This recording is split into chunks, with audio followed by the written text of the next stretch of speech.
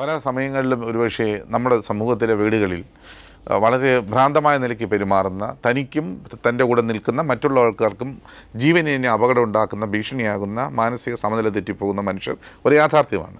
അത്തരം യാഥാർത്ഥ്യങ്ങളെ നമ്മുടെ ഈ സംസ്കൃത സമൂഹത്തിൽ പരിഹരിക്കുവാൻ മറ്റൊന്ന് മാർഗമുണ്ട് ഈ സൈക്കോട്ടിക് ആയിട്ടുള്ള ഒരാൾ ഒരു തൽ തൽ- തൽക്കാല സമയത്തേക്ക് ഒരാൾക്ക് വിഭ്രാന്തി ഉണ്ടായാൽ അയാൾ എക്സൈറ്റഡ് ആയിട്ട് നിയന്ത്രണമില്ലാതെ ടെൻഷൻ കയറിയിട്ട് അത് ടെൻഷൻ കയറിയിട്ട് അല്ലാതെ ബാക്ടീരിയ ബാധിച്ചിട്ടോ വൈറസ് ബാധിച്ചിട്ടൊന്നും അല്ല. എന്തെങ്കിലും ദണ്ണം കയറി കഴിയുമ്പോൾ അവൻ വയലന്റ് ആവുമോ ഒച്ച വെക്കുകയോ അല്ലെങ്കിൽ കൺട്രോൾ ഇട്ട് പെരുമാറുകയോ ഉപദ്രവിക്കാൻ വരുമോ ഒക്കെ ചെയ്യുന്ന അവസ്ഥ ഉണ്ടാകാം. ആ സമയങ്ങളിൽ നമ്മൾ കൊടുക്കുന്ന ഡ്രഗ്സ് സൈക്കാട്രി കൊടുക്കുന്ന ഡ്രഗ്സ് ആ ആ സ്വഭാവം മാറാനുള്ള മരുന്നല്ല. അവരുടെ മാനസിക പ്രശ്നത്തെ എന്റെ അഭിപ്രായത്തിൽ പരിഹരിക്കുന്നില്ല. അവരെ തൽക്കാലത്തേക്ക് ബ്രെയിൻ ഡിസേബിൾ ചെയ്യുന്നത് കൊണ്ട് ബ്രെയിൻ ഡിസേബിളിങ് ഇഫക്ട്സ് ഉള്ളതുകൊണ്ട് അവർ അന്നേരത്തേക്ക് തൽക്കാലത്തേക്ക് തളർന്നു കിടക്കുന്നു എന്ന് മാത്രമേ ഉള്ളൂ. അവർക്ക് അതിന് അണ്ടർലൈങ് ആയിട്ടുള്ള ഒരു പശ്ചാത്തലമുണ്ട്. ഒരു പേഴ്സണാലിറ്റി ഡൈനാമിക്സ് ഉണ്ട്. തൽക്കാലത്തേക്ക് മരുന്ന് കൊടുത്തു തളർത്തിയാലും അവരുടെ പേഴ്സണാലിറ്റി ഡൈനാമിക്സിലേക്ക് ഇറങ്ങിച്ചെന്ന് അവരെ സൈക്കോതെറാപ്പി ചെയ്തില്ലെങ്കിൽ പിന്നെ അവർ ഈ വ്യക്തിത്വ വൈകല്യം തുടങ്ങും ഞാൻ ആ പാട്ടാൽ എഗ്രി ചെയ്തു പക്ഷെ ആ നിമിഷത്തിൽ പ്രശ്നക്കാരനായി വരുന്ന ഈ വ്യക്തിയെ നിയന്ത്രിക്കുവാൻ എന്ത് മാർഗം പോയിസൺ മാർഗമേ ഉള്ളൂ ആ സമയത്ത്. പോയിസൺ കോപ്പറേറ്റീവ് അല്ലെങ്കിൽ പോയിസൺ കൊടുക്കുക. ആ സൈക്കാട്രി ചെയ്തുകൊണ്ടിരിക്കുന്നത്. അല്ല ഞാൻ പറഞ്ഞ നമ്മുടെ സമൂഹത്തിന് എന്താ ഉള്ളത്? സംസ്കൃത സമൂഹത്തിൽ ഇതിന് പകരം വയ്ക്കുവാൻ വല്ലതും ഉണ്ടോ? കാരണം ഇതൊരു വളരെ വളരെ പ്രാക്ടിക്കൽ ആയിട്ടുള്ളൊരു ചോദ്യമാണ്. അങ്ങനെ ഒരാൾ എക്സൈറ്റഡ് ആയിട്ട് നിൽക്കുന്ന സമയത്ത് അയാൾ എല്ലാ മറ്റെല്ലാ മാർഗങ്ങളും ും കോപ്പറേറ്റ് ചെയ്യാതിരുന്നാൽ പല പ്രാകൃതമായ മാർഗങ്ങളും നമ്മൾ ഉപയോഗിക്കും. അയാളെ തല്ലിയാൽ അയാൾ ഒതുങ്ങിയിരിക്കും. അയാളെ പിന്നെ പോലീസ് വിരട്ടിയാൽ ഒതുങ്ങും. പോയിസൺ കൊടുത്താൽ തളരും. ഇതൊക്കെ സത്യമായ കാര്യമാണ്. പക്ഷേ അതൊന്നും എന്റെ അഭിപ്രായത്തിൽ അത് ആത്യന്തികമായ ചികിത്സയല്ല. അത് തൽക്കാലത്തേക്ക് നമ്മൾ ചെയ്യുന്ന ഒരു മാർഗമെന്ന് മാത്രമേ ഉള്ളൂ. അതുകൂടാതെ അയാളുടെ യഥാർത്ഥത്തിൽ അയാൾ അങ്ങനെയായി ആ നിലയിലേക്ക് അയാളെ കൊണ്ട് എത്തിച്ചത് എന്തുകൊണ്ട്? എന്തുകൊണ്ടാണ് അയാൾ എത്രയും എക്സൈറ്റഡ് ആവുകയും വയലന്റ് ആവുകയും ചെയ്യുന്നതിന് ഒരു കോസ് ഉണ്ട്. ഇമോഷണൽ കോസ് ഉണ്ട്.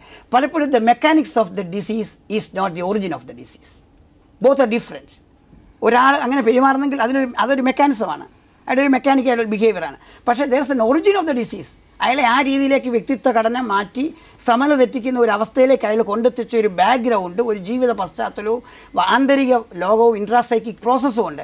അത് അനലൈസ് ചെയ്യപ്പെടുന്നില്ലെന്നാണ് ഞാൻ പറയുന്നത്. അത് അനലൈസ് ചെയ്യപ്പെടാതെ ഇരുന്നാൽ അയാൾ പിന്നെയും പിന്നെയും കുറ്റവാളികളായിക്കൊണ്ടിരിക്കും. നമ്മുടെ ഇവിടുത്തെ ഹ്യൂമൻ റൈറ്റ് കമ്മീഷന്റെ പ്രവർത്തന ഫലമായി മാനസികാരോഗ്യ കേന്ദ്രങ്ങളിലും മറ്റു മാനസികാരോഗ്യ സേവന മേഖലകളിലുള്ള നൽകുന്ന സ്ഥലങ്ങളിലൊക്കെയുള്ള മനുഷ്യാവാസ ധ്വംസനത്തെക്കുറിച്ചുള്ള കണക്കുകളോ അല്ലെങ്കിൽ കാരണങ്ങളോ താങ്കളുടെ കയ്യിലുണ്ടോ? ഇല്ലില്ല. അങ്ങനെയുള്ള അങ്ങനെയുള്ള ഒരു റെഡിമെയ്ഡ് കണക്ക് എന്റെ കയ്യിൽ ഇപ്പോൾ ഇല്ല.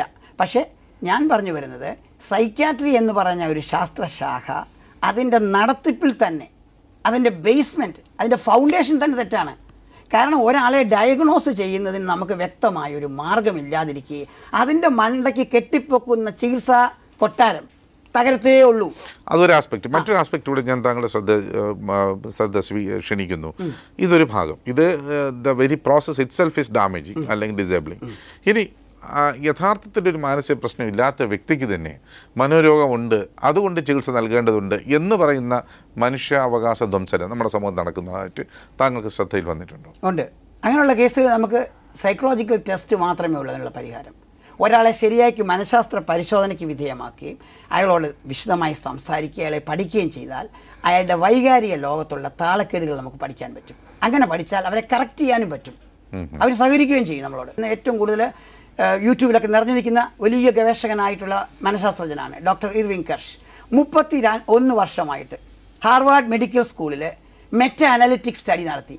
ഏറ്റവും നല്ല സ്റ്റാറ്റിസ്റ്റിക്കൽ സ്റ്റഡിയാണ് നമുക്ക് ഒരു കാര്യത്തെപ്പറ്റി തെളിവ് നൽകുന്ന ഒരു statistical സ്റ്റഡിയാണ് meta analysis meta analysis the analysis of analysis മുപ്പത്തൊന്ന് വർഷം അദ്ദേഹം ഗവേഷണം നടത്തി. ഈ ആന്റി വിഷാദ വിരുദ്ധ മരുന്നുകൾക്ക് വിഷാദ വിരുദ്ധ പ്രോപ്പർട്ടി ഉണ്ടോ എന്നറിയുന്നതിനുള്ള ഗവേഷണമായിരുന്നു അത്. അത് അവിടെ നടത്തിയിട്ട് എല്ലാ കേസിലും കാണിക്കുന്നത് ഈ മരുന്നുകൾ പ്ലേസിബോ ഡ്രഗ്സിനേക്കാളും ഷുഗർ പിൽസിനേക്കാളും പ്രയോജനം ചെയ്യുന്നതല്ല. Antidepressants are no more good than placebo drugs or sugar pills. On the other hand it can create depression and suicide എന്നുള്ളതാണ് അദ്ദേഹത്തിന്റെ നിഗമനം. യൂട്യൂബിൽ അതുണ്ട്. ഏത് മരുന്നാണോ വിഷാദം കുറയ്ക്കാനായിട്ട് സൈക്യാട്രിസ്റ്റുകൾ പ്രിസ്ക്രൈബ് ചെയ്യുന്നത്? അതേ ഗുളികകൾ ഉപയോഗിച്ചാണ് വിഷാദമുള്ള ആളുകൾ ആത്മഹത്യ ചെയ്യുന്നതും. അപ്പോൾ അതിന്റെ അർത്ഥം സൈക്യാട്രിയുടെ മരുന്നുകൾ സ്ലോ സൂയിസൈഡാണ് എന്നുള്ളതാണ് എന്റെ അഭിപ്രായത്തിൽ അക്കോർഡിംഗ് ടു മീ മനുഷ്യാവകാശങ്ങൾ കമ്മീഷനുകൾ പ്രാധാന്യം അർഹിക്കുന്നതിന് കാരണം ഇത്രയധികം അന്ധകാരം നിലനിൽക്കുന്ന ഒരു അവിജ്ഞാനം നിലനിൽക്കുന്ന ഒരു മാനസികാരോഗ്യ രംഗത്തെ ശുദ്ധീകരിച്ചെടുക്കാനും അതിനെ എക്സ്പോസ് ചെയ്യാൻ വേണ്ടി സി സി എച്ച് ആർ നടത്തുന്ന ശ്രമം അത്ഭുതകരമായ രീതിയിൽ വിജയിച്ചു കൊണ്ടിരിക്കുന്നതുകൊണ്ടാണ് ഇന്ന് എസ് എസ് ആർ ഐ മരുന്നുകൾക്കെതിരെ ബോക്സ് ബ്ലാക്ക് ബോക്സ് വാണിംഗ് ഉണ്ടാക്കാൻ സി സി എച്ച് ആറിന് കഴിഞ്ഞത്. വലിയൊരു എഴുത്തുകാരനുണ്ടായിരുന്നു ലോകപ്രസിദ്ധനായ എഴുത്തുകാരൻ. ഞാൻ ആദരിക്കുന്ന വ്യക്തി കിഴവനും കടലും എന്ന് പറഞ്ഞ നോവൽ എഴുതിയ എണസ് വേ അദ്ദേഹത്തെ മിന്നിങ്ങർ ക്ലിനിക്കിൽ കൊണ്ടുപോയി. ഒരു പ്രത്യേക ഘട്ടത്തിൽ അദ്ദേഹത്തെ അദ്ദേഹത്തിന് ആത്മഹത്യ പ്രവണത വന്നു വിഷാദം കൊണ്ട്. ആർക്കും വിഷാദം ഉണ്ടാകാം. ആത്മഹത്യ പ്രവണത കൊണ്ടുവന്നപ്പോൾ ഇദ്ദേഹത്തെ കയറ്റി. അവിടെ കൊണ്ടുപോയി അഡ്മിറ്റ് ചെയ്തിട്ട് ഇരുപത് ഷോക്ക് തുടർച്ചയായി നൽകി. ചരിത്രത്തിൽ രേഖപ്പെടുത്തിയിരിക്കുന്ന ഇതാണ്. ഇത് ഞാൻ വായിച്ചെടുത്ത് പപ്പ ഹെമിംഗ് വേ എന്ന് പറഞ്ഞ പുസ്തകത്തിൽ നിന്നാണ്. അദ്ദേഹത്തിന്റെ മകൻ ഹോച്ചിനർ. അദ്ദേഹത്തിന്റെ മകൻ ഹോച്ചിനർ പപ്പ ഹെമിംഗ് വേ എന്ന ഗ്രന്ഥത്തിൽ എഴുതിയിരിക്കുന്നത് ഞാൻ വായിച്ചതാണ് ആ ബുക്ക് എന്റെ കയ്യിലുണ്ട്. അതിനകത്ത് അദ്ദേഹം പറഞ്ഞ മോൻ പറഞ്ഞിരിക്കുന്നത് എന്റെ പപ്പ അവിടെ പോയി ഇരുപത് ഷോക്ക് ചികിത്സ എടുത്തിട്ട് വീട്ടിൽ വന്നു. എന്നിട്ട് അവിടെ വന്നിട്ട് ശപിച്ചിട്ട് ഇങ്ങനെ പറഞ്ഞു എന്റെ എഴുതാനുള്ള കഴിവെല്ലാം പോയി. എന്റെ ബ്രെയിനെല്ലാം പോയി. എന്റെ മെമ്മറി എല്ലാം എറൈസ്ഡ് ആയി. You have put me out of business എന്ന് പറഞ്ഞിട്ട് ഗണ്ണെടുത്ത് സൂയിസൈഡ് ചെയ്തു.